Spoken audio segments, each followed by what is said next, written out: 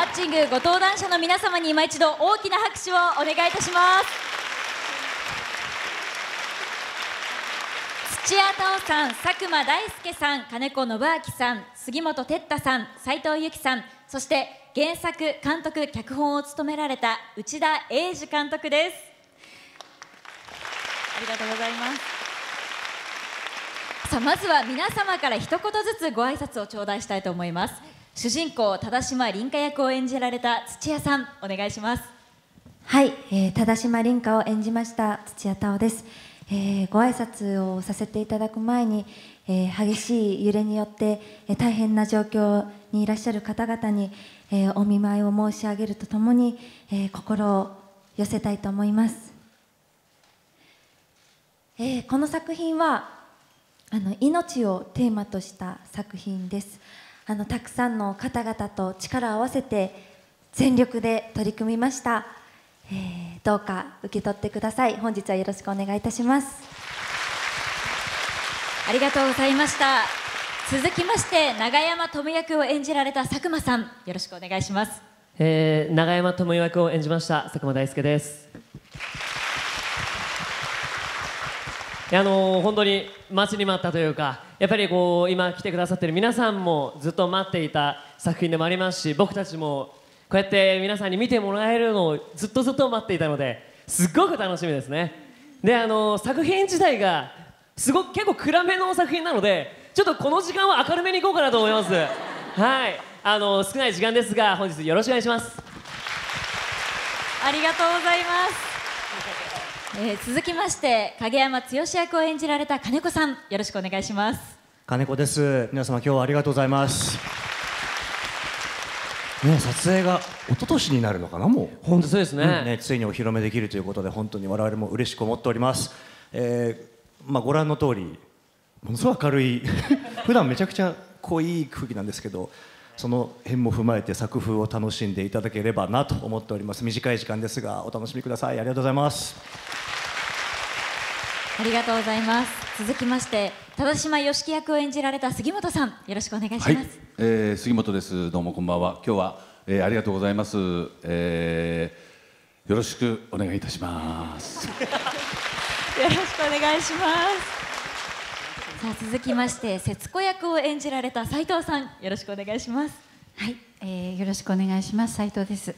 えーと、まだこれから皆さんあの上映ということご覧になるということであのすごく言いたいことは山ほど山ほどあるんですけどもちょっとなかなか言えない状態ですのであのとにかく、えー、多分ドキドキハラハラが全般の空気感だとは思いますけれどもでもその中にもあすっごく切なく一生懸命生きてるなっていう感じ。特にタオちゃんとかもうあの演じられてて私はあのはい見てとてもあのサスペンスミステリーというふうに言われてますけど私はあのシンプルにとても感動しました。あのぜひ皆さん楽しんでいただければと思います。よろしくお願いいたします。ありがとうございます。では最後に脚本も手掛けられた内田監督お願いいたします。あ、えー、皆さんあの来ていただいてありがとうございます、えー、まあ確かにダークな作品なんですけどあの現場ではあの皆さんあの主に明るい方が揃ったんで 明るくダークな作品をあの作らせていただきました。今日は楽しんでいってください。よろしくお願いします。ありがとうございます。スチールカメラの皆様についてはフラッシュ撮影はここまででお願いいたします。それでは早速作品についてお伺いしていきたいんですが本作は今や身近になったマッチングアプリをきっかけに出会いの裏に仕掛けられた恐怖を完全オリジナルで描く新感覚サスペンススリラーということなんですけれども、役作り撮影でのご苦労というのがたくさんあったかと思います、制作でのエピソードをそれぞれお聞かせいただけますでしょうか。まずは土屋さん伺えますか？あはいえっとまあ、監督がオリジナル作品を書いてくださったということであの、まあ、原作がなかったのである意味自由度はあったと思います。ですのでなんかこう役作りをする上でそんなにここがああれがダメだこれがダメだっていう苦労はなかったです。ただり凛花のことを考えた時にやっぱごく普通の女の子なんですよね。ごく私たちと同じようにプライベートであの何があっても具合が悪くてもそれこそ元気でもなんか何とかしてこうみん頑張って生きているっていう。でその中であのまあいろいろな出来事が起こっていくんですがちょっと待って何を言いたいか忘れてきた。大丈夫ですよゆっくりで。いくらでもましょうあ思い出しました。あのとりあえず本当に本当に辛いことがいっぱいあったので撮影で内容的に。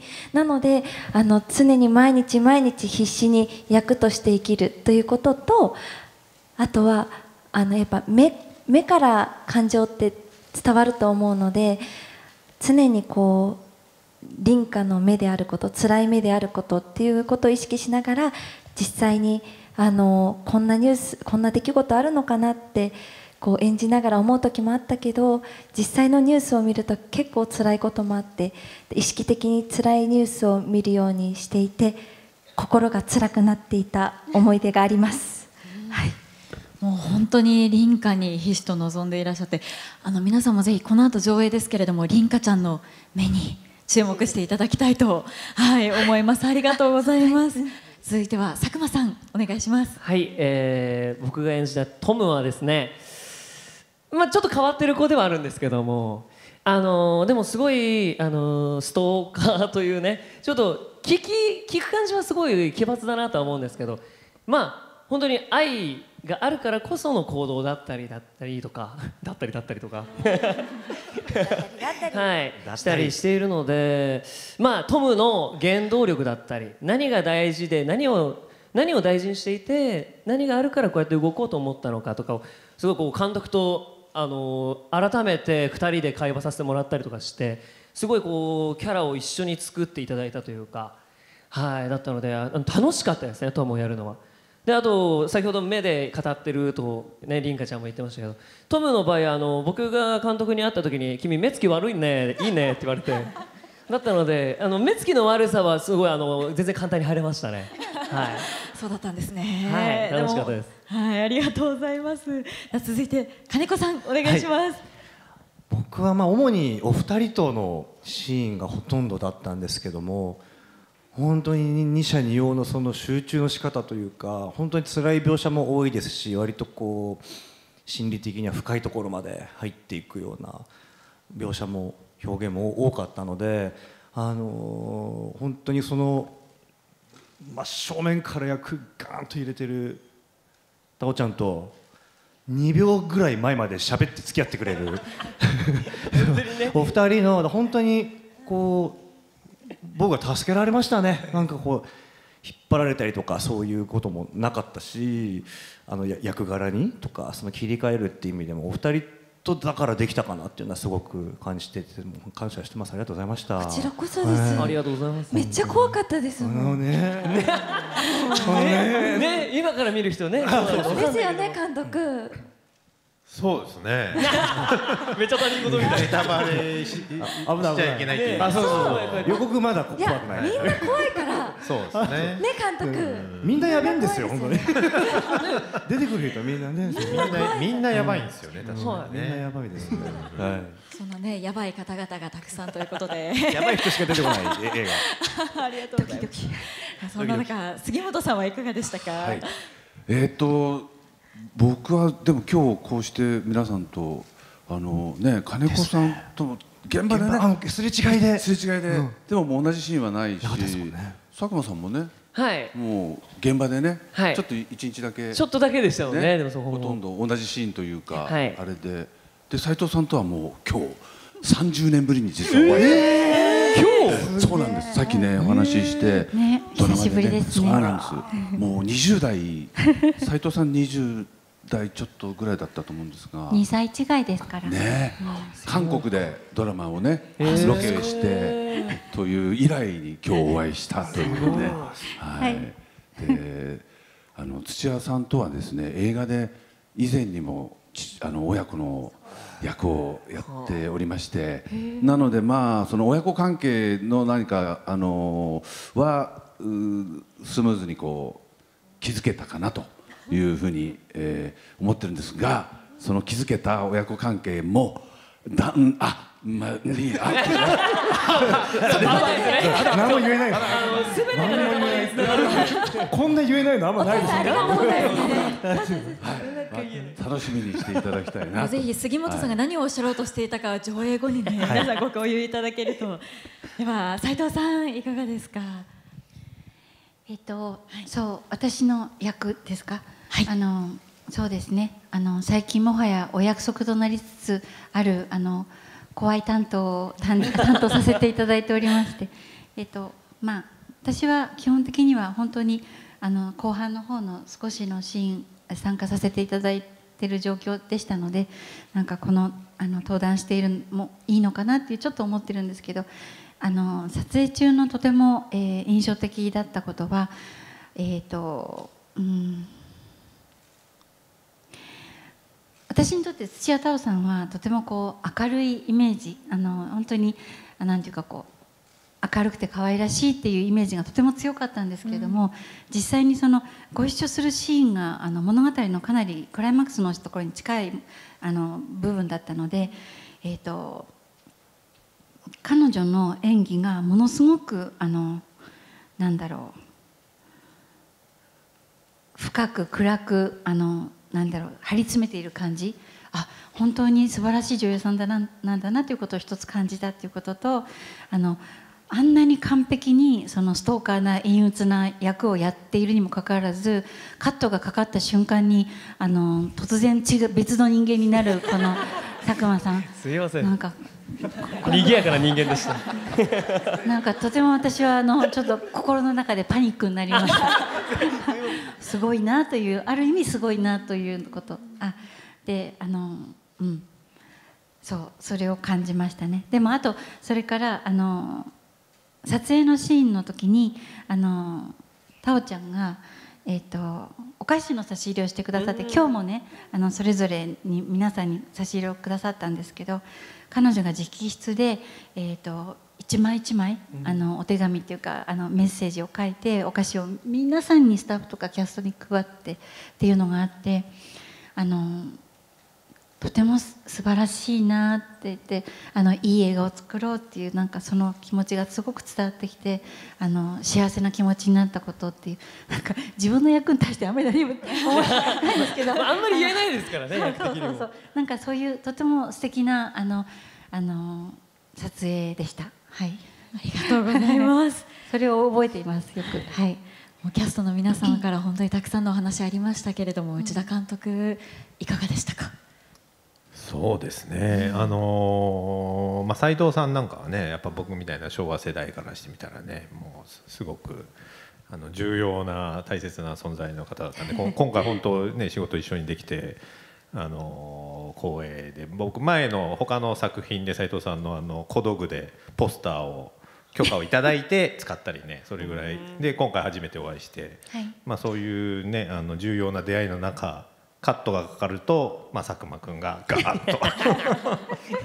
すぐ監督ね。そうそうそう。すごくこう現場を明るくしていただいて。ありがとうございます。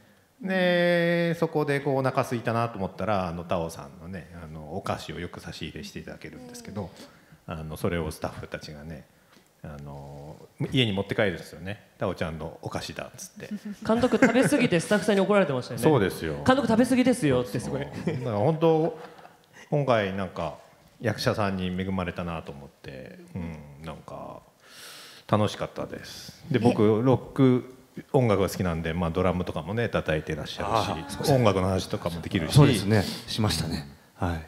すごく本当に幸せな現場でした。ありがとうございます。なんだかこう皆さんのまあ出会いがすごくまあ素敵だなというふうに思ったんですけれども、まあそんな出会いについてご質問なんですけれども、劇中では土屋太鳳さんが演じる主人公の凛花が佐久間大介さん演じるトムと運命的な出会いをしたことで人生が大きく変わり始めるわけですけれども、皆さんの人生における運命的な出会いのエピソードをお聞かせいただけますでしょうか？ちょっと難しい質問かもしれないですが。ちょっとロマンティックですねはい。ロマンティックですね。ですね 土屋さんからお願いしてもいいですか？あいいんですか？私えっ、と私は、まあ、出会いと言ったら違うかもしれないんですけどあの小学校3年生の頃にシザーハンズをテレビであの見て衝撃を受けすぎてなんか大切な人を守りたいのに助けようとすればするほど好きな女性を切ってしまうシーンがあるんです。それを見て号泣をしてしまってでその時に自分はこんな仕事に就けないとも思ったしあ今してるんですけどこういう仕事。でもそれほど結構衝撃を受けてであのお芝居演技というものはこれだけ人の心を動かすんだなと。なのであのいろいろな役をやらせていただく時もあの毎回思い出してます。はい、もうシザーハンズとの出会いが土屋さんのまあ人生といいますか、うん。価値観といいますか大きく。大きく変えましたね。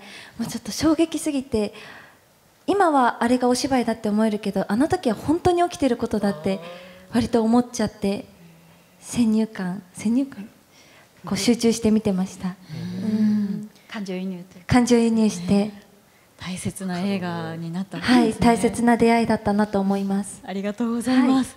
佐久間さんはいかがですか？そうですね僕もなんかこうわーって考えた中でまあやっぱり SnowMan のメンバーですね、なんか一番はそこかなって感じますねなんかこうもともと6人で活動してて今9人になってであのこうやってデビューしてとかいろいろありますけどやっぱこう6人の時代も9人の時代の今も全部が SnowMan なんだなっていうのをすごい感じれてるというかなんかあのメンバーがいてくれるから頑張れてるなって気持ちもすごいあるのでいまだになんかさお互いに支え合いながら楽しく過ごしてますね、はい。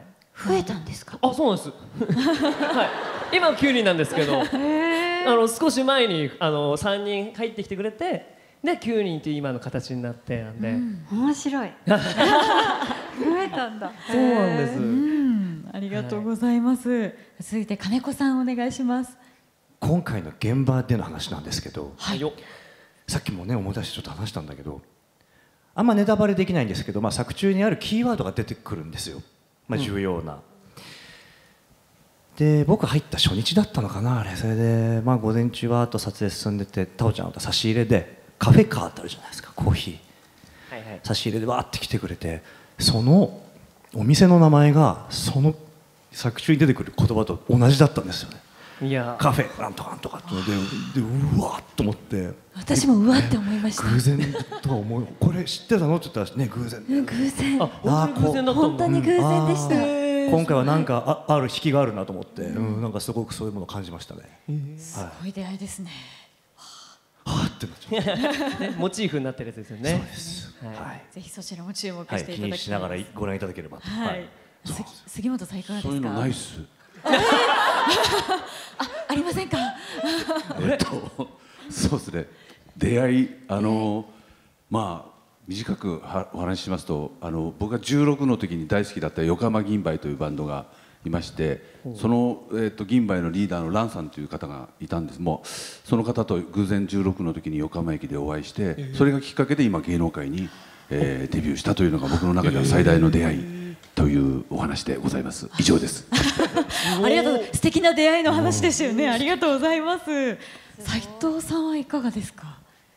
そうですね数数あの限りなく大切な出会いはあったと思うんですけど、まあ、一つあのここはあの映画のあの発表なので、えー、と映画の大切な出会いっていうとやはりあの私デビューのあのもうそれこそ本当に 30年前の話ですけどあの初めてのあの映画主演映画が「えー、と雪の談笑」という映画がありましてあの相米真司さんというあの今も亡くなられてますけどあの監督さんとの出会いはとても大きかったですね。えー、と今では考えられないと思うんですけどあの角材かあの市内を持ってあの現場にいつもいるあの監督でそれでこうあの芝居が生ぬるいとあのその角材か市内であの叩かれるっていうでやあのそれであの、まあ、名前を呼んでもらえることはなくてあの基本的にはあのクズとかゴミとか呼ばれながら あの撮影。私は一応主演でしたが あのされるんですね。でもあのこれはあの別に皮肉って言ってるわけでも何でもなくてあの今とてもこの窮屈なあのいろいろな意味であのエンターテインメント業界も窮屈だと思うんですけどもあのなんだろう、えーとても気持ちの良い経験でした。あの、私はそれはとてもあの素晴らしい経験だったと思ってるしあの面白かったし鍛えられたし私にとってはとても大切な出会いでしたね、はい、ごめんなさい。真面目なことを言ってしまう、すごいです。ねとってもバイオレンスな感じの、まあ。佐久間さんが言うと何もかもなんかおちゃらけて聞こえるっていう。ありがとうございます、はい。内田監督も何か出会いは？出会いですか？でも、はい。やっぱり映画作ってるとすごい多くの人と出会うんでそのね例えば金子さんのねいドラム叩いてらっしゃるバンドのライブとか見たこと昔あるんですけどでこうやって役者さんとしてこの現場であったり斉藤さんもねあの CM でそうかカップヌードル持ってた あの方と仕事できるんだとかやっぱりしかも長くあの10年後に佐久間君とかねあのタオちゃんとかまた役者と監督でやれることもできるしなんかやっぱりこのなんか映画っていうもの自体がなんか出会いの繰り返しなのかなとは思いますね。ありがとうございます。素敵なコメントを。いやまあ出会いについてのお話もねたくさん伺ってきたんですが、映画「マッチング」にまつわるちょっとここで企画がございましてマッチングアプリからこちらの映画「サスペンス」が始まります。今の時代ですねアプリで出会うことも当たり前となってきましたけれどもそのマッチングアプリで必ず必要なのがご自身のプロフィールです。そこで今日はですね登壇者の皆さんと観客の皆さんのマッチング度大調査を実施していきます。イエーイ。うわはいもうあのいきなり始まりますねこういうの。急に失礼しました急になんですけれども。まあ皆さん皆さんの顔がよく見える。よかった自分にとってベストな相手とマッチングするためにまあ写真とともにそれぞれ工夫を凝らしてね趣味ですとかアピールポイントを書く方が多いんですけれども今日は皆様にもし自分がマッチングアプリに登録してより効果的にアピールするためにプロフィールを書くとしたらどんなプロフィールを書きますかというのを事前になんと準備してきていただきました、はい。ありがとうございます。いやあのまあ、初めてだったかと思うんですけれどもぜひですね自らのプロフィールをプレゼンしていただくつもりで今こちらにいらっしゃる観客の皆さんにお話ししていただきたいんですけれども、観客の皆さんこちらのうちわありますかね？配られてますか？あ振っていただいてありがとうございますこちらマッチング用のうちわなんですけれどもマッチングしたいとプロフィールを見て思った時は登壇者の皆さんに向けてピンクのハートの方を高く元気に上げてください。ちょっと微妙だなと思ったら ブルーの方をですねちょっとシビアに上げていただいてあ結構ブルーあこれは傷つくやつですね。そうですねあのなかなか勇気がいりますよね。皆さんにはハートを強く持っていただいてであの観客の皆さんは正直に判断していただければと思います。ではお願いします。皆さんご準備の方はよろしいでしょうか？ではトップバッターは土屋さんからお願いしますおやおや。お願いします。おおすごい出てる出てる。今おなる画面にプロフィールが映し出されましたけれども。ええ。まず名前タオハニさんというこのお名前はタオさん、あタオハニームーンという、はい。あのファンクラブの名前でしてあのよくファンの方々がタオハニって言ってくださってるのでその名前にさせていただきました。お。あのタオハニなんですね。タオちゃんファンには有名ですからね。みんな知ってるはい。でもあのプロフィールを拝見してるとこうねや野生児っていうワードがすごく気になるんですけれども、つ東京生まれの野生児なんですね。そうなんです。東京生まれの都野生会の中で。はい都会の中で走り回ってきましたどうですか佐久間さんこちらはい。のタオさんのプロフィール、いやでもなんかいいですよね。そのよくあの現場で撮影の合間とかで家族の話とかよくしてたんですよ、二人で。でその時にあのよくそのキャンプとか子供の頃行って、自然の中に鍛えられてきたんだって言ってて。そうですそうです。本当に自分たちでトイレも掘ってきたし すごいです川でお風ね呂も入ってきたし。はい。野生だ。日本を代表する あの女優さんがそういうもうすごいアウトドアなことをされていたっていうのを聞いてたの。でびっくりして。しかも土屋さんはねあの一緒に富士山に登りたいと。あそうですね。ぜひあの富士山に一緒に登ってくださる方お待ちしております。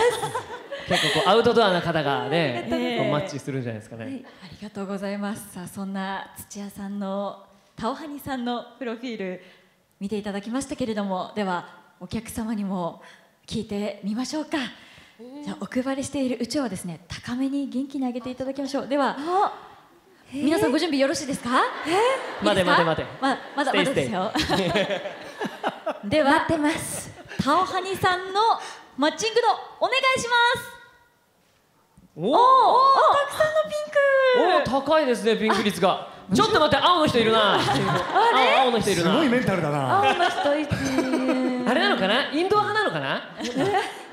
え嬉しい。もうほとんどの方は土屋さんと一緒に富士山登っていただけるいやということで、確はい、あの辛くなったら私がマッサージするいやすごいよね。嬉しいですね。本当に得意なんだもんね。ありがとうございます。ありがとうござもうす。ごいマッチング率高いな。高いですやねった。さあ好スタートですけれども。では続いては佐久間さん参りましょうか、はい。お願いしますこちらですね。あのーはい。あのーしっかりマッチングしてやろうと思って。あもうしっかり書き込みまして。はい。なんかすごいこう自分の趣味だったりとかも入れつつ。そうあの斉藤さんと杉本さんがあの熟読されてますけれども。もう字ちっちゃくてすみません。びっちりよく見に行かないと。考えてきました。でもこれかっこよくないですか？車の運転をするのが好きなのでどこでも迎えに行きますしどこでも連れに行っていきますめちゃくちゃかっこいやいいねそうですね。もしマッチした方がいらっしゃったらあのどこでも連れて行くんで。はい。ちょっと格好つけちゃったな。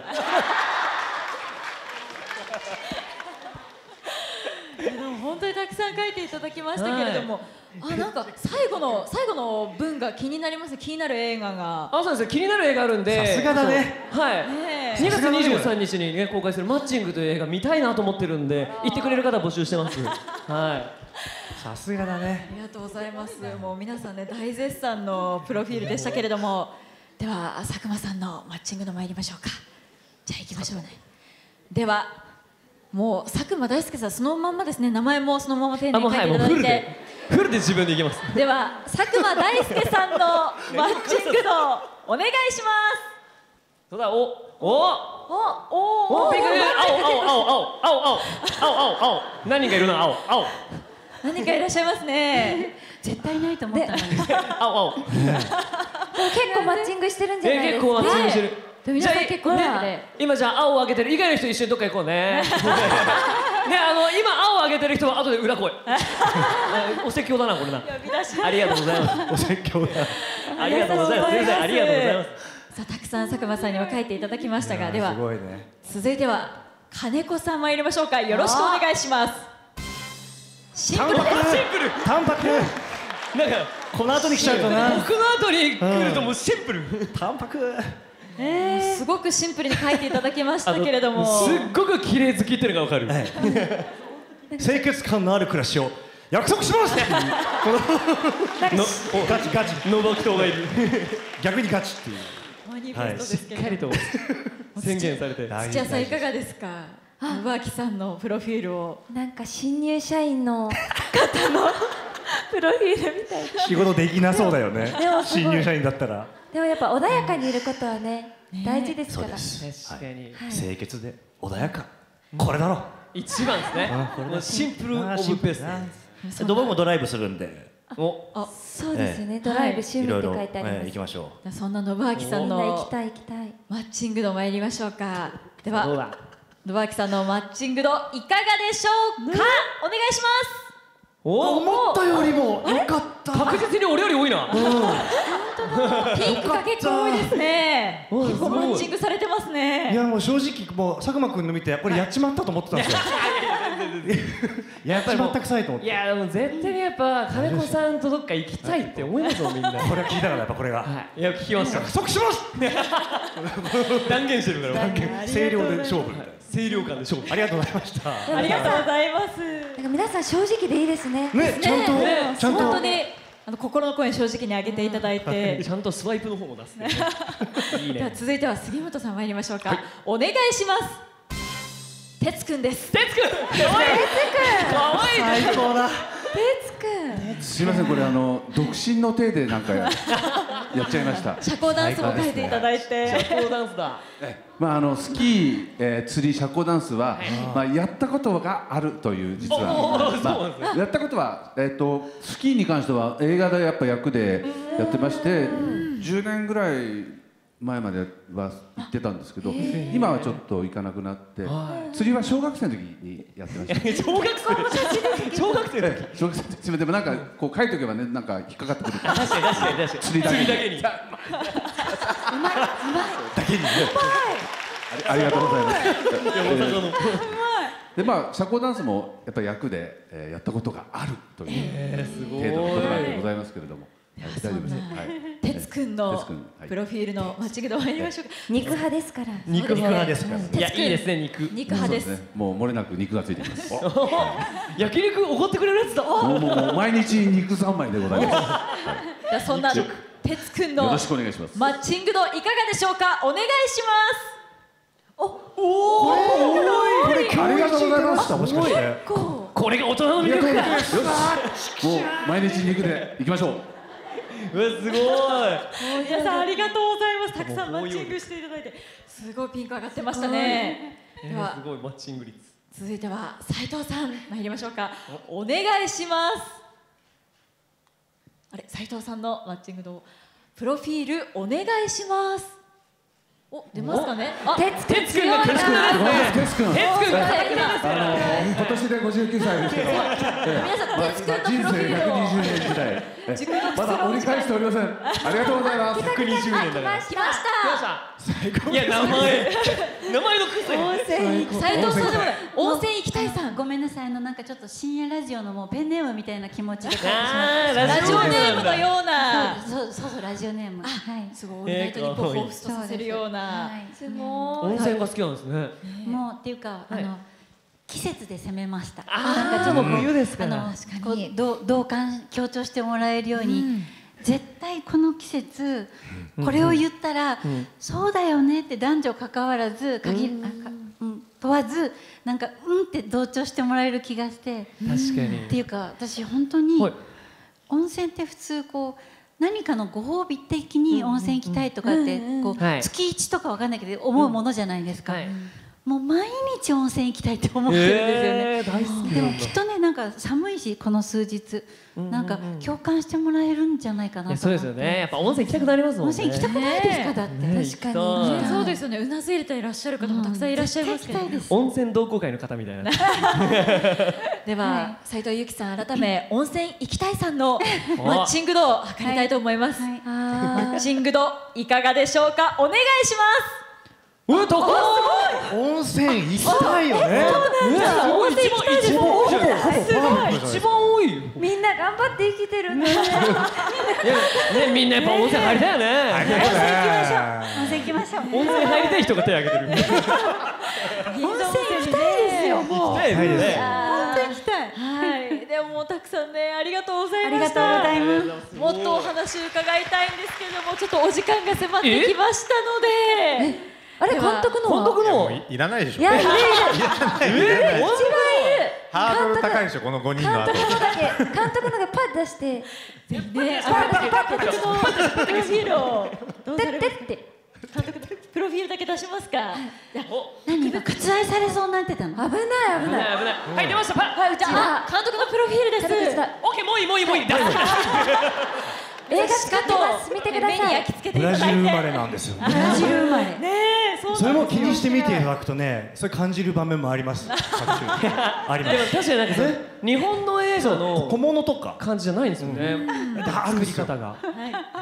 ね赤字ありません注目していただきたいんですけれども。すごいおしゃべりですから さあそうだねこれから映画をご覧になるわけですけれども皆さんが。ではお客様にメッセージをお願いしたいんですがまずは内田監督からお願いいたします。そうですね、あの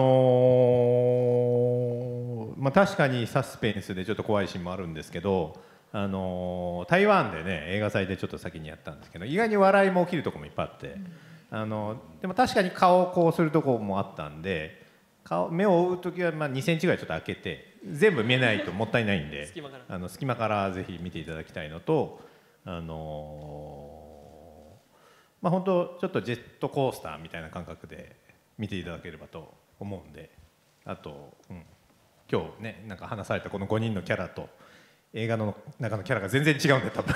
いや本当にもう何のね舞台挨拶なんだみたいになってますね。そうそうそうまあそういうのもちょっと比べながらあの楽しんでいただきたいと思います。ありがとうございます。それでは土屋さんよろしくお願いいたします。はい、えー、と今はあのマッチングアプリは本当に身近な存在になっていてでこのアプリであのいい出会いに出会った方はたくさんあのいい出会いに恵まれた方はたくさんいらっしゃると思うんです。でこの作品で伝えたいのはあの人の本質を見ようとかあの人と丁寧につながっていこうよっていうことを大切にしてほしいという思いも入っているんですけれどもこの映画かなり見た方によって感想が変化していくと思います変化すると思いますですのでよかったら SNS でぜひ感想を送ってくださいお待ちしております本日は本当にありがとうございましたありがとうございました。いかがでしょうか？大丈夫でしょうか？はい、ありがとうございます。では最後にあの私こう漏れ聞いたんですけれども、現場で何か流行っていたポーズがあると聞いたので、あのあ土屋さんが考えたあの私がせーのマッチングーと言ったらあのグーのポーズをあのなんだか流行っていたそうなんです。なのであの私がせーのって言ったら皆さんもマッチングって言っていただいてもいいですか？では皆さんご準備よろしいですか？お願いします。それでは参ります。せーのマッチング。